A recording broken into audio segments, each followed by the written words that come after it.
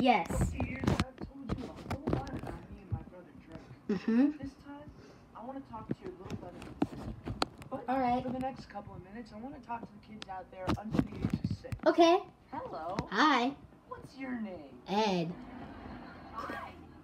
Who are you? Ed. What is your favorite thing to eat? Pizza. What games do you like to play? Sonic the Hedgehog. Me too. yeah. Cool. You like me? Yes. You want to be my friend? No. Oh, thank you. You're welcome. What is that supposed to mean? Means you're a dork. You're handsome. You think I'm handsome? Yep. What a special thing to say. Thanks. What? what? Who you calling a dork? You? Hey, hey, hey, hey, go get your mother. Yeah, I'm talking to you. Mm. I got you something. For me? Yep. All right, just, just bring the kid right in front of the TV set. I got a few things to say. Okay. Here it is.